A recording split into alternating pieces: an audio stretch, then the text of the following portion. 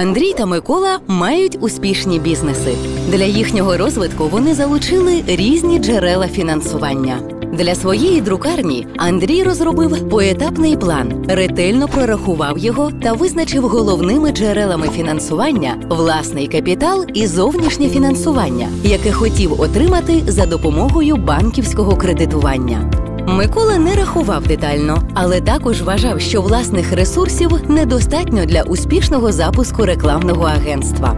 Не бажаючи витрачати час на заповнення банківських документів, він звернувся до ломбарду, де отримав кошти під заставу на короткий термін. Час повертати борг прийшов швидше, ніж Микола очікував, і тепер він зрозумів, що помилився при виборі умов фінансування, тому що його доходів ще недостатньо для повернення кредиту.